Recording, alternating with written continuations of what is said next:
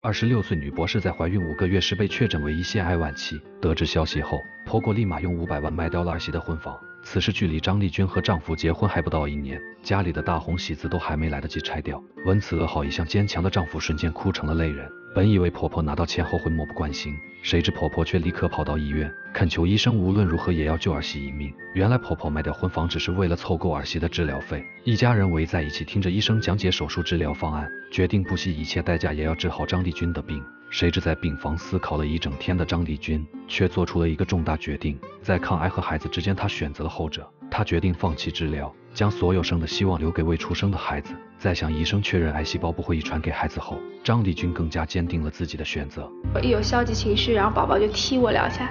哎呀，我本来人还在发呆，突然之间就哎，嗯，好像没什么好想的。然而，这个决定也意味着她不能采取任何治疗手段。也会因此而失去最佳的治疗时期。面对死亡，张丽君内心同样充满恐惧，但肚子里的孩子却给了她无限的勇气，让她可以继续坚持下去。她每天在病房里和家人谈笑风生，感受着肚子里的生命一天天长大，但这也意味着她存活的概率越来越低。今年二十六岁的张丽君和丈夫结婚还不到一年，公婆待她如亲生女儿一般，夫妻感情也稳定和睦。本该是让所有人都羡慕的人生，却因一个意外戛然而止。突如其来的噩耗瞬间击垮了两个家庭，纵使家人千劝万劝，也依旧无法改变张丽君的决定。最终，他们只能选择妥协。丈夫放下了手中的一切，每天陪在妻子身边，给了妻子无微不至的照顾。看着妻子为了孩子坚强又乐观的活着，韩世俊的心里就像针扎一般疼。但为了不让妻子担心，面对妻子时他始终表现得很坚强。只有在独自一人时，他才会短暂地展现出自己软弱的一面，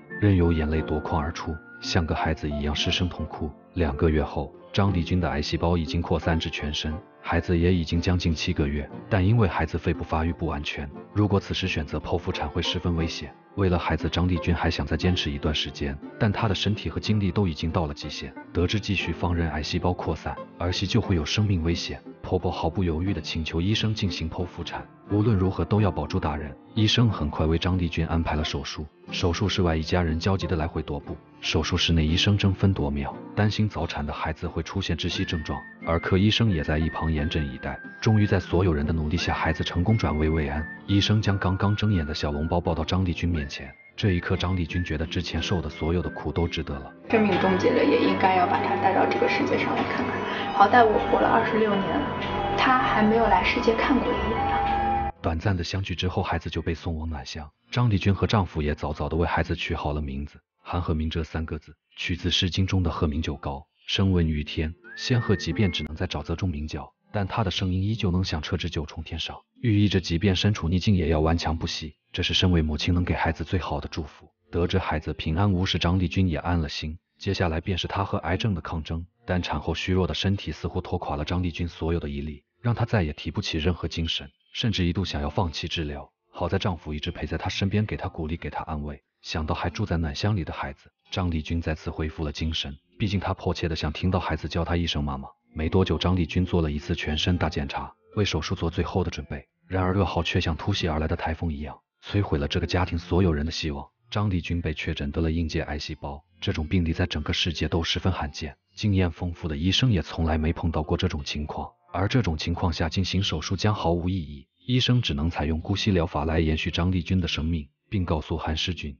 问问张丽君还有哪些未完成的心愿，不要让她留下遗憾。医生的话无疑宣判了张丽君死刑。韩世俊愣在原地很久都没有回过神，婆婆也哭得肝肠寸断。一家人决定先不要告诉张丽君真相，但病房外婆婆压抑的哭声和丈夫整夜的沉默，还是让她猜到了真相。虽然早就已经做了最坏的打算，但当噩耗真的来临，一直坚强乐观的张丽君还是忍不住彻底崩溃。她哭着问丈夫自己还有没有机会再长头发。丈夫闻言也不知该怎么安慰妻子才好。短暂的伤心之后，张丽君平复了心情，开始为化疗做最后的准备。面对死亡，谁都会感到无限恐惧，但最重要的是要开心的度过生命最后一段时间。毕竟一切已成定局，不如坦然的去面对死亡。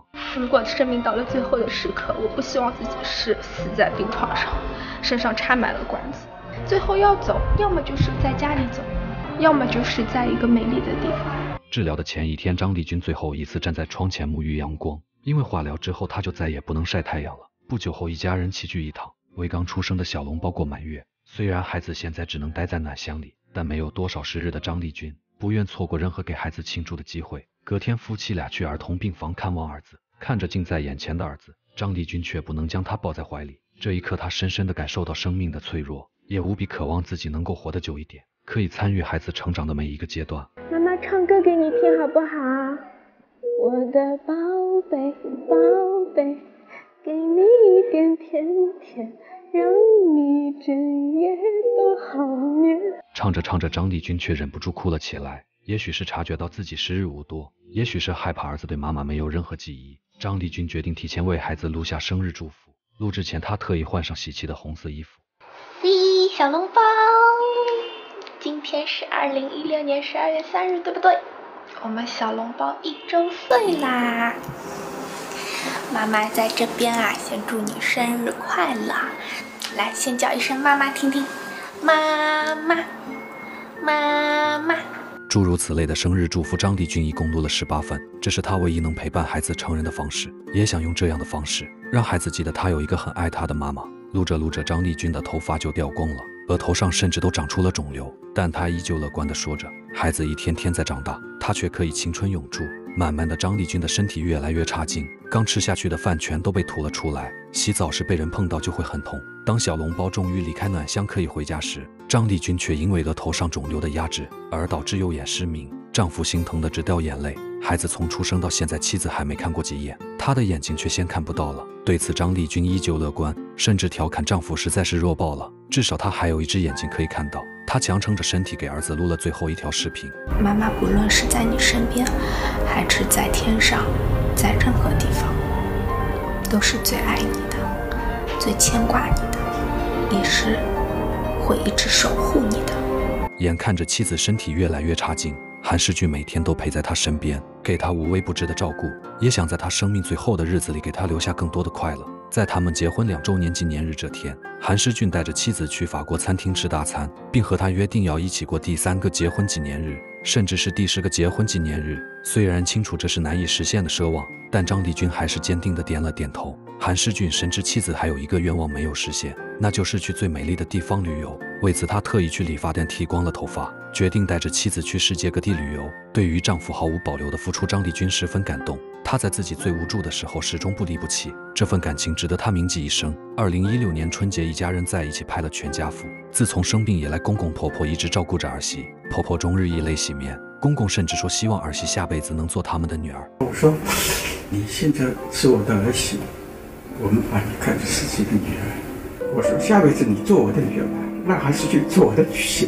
公公的话让张丽君泣不成声。这辈子能遇到这样的家人，张丽君觉得自己已经十分幸运。这个世界太美好了，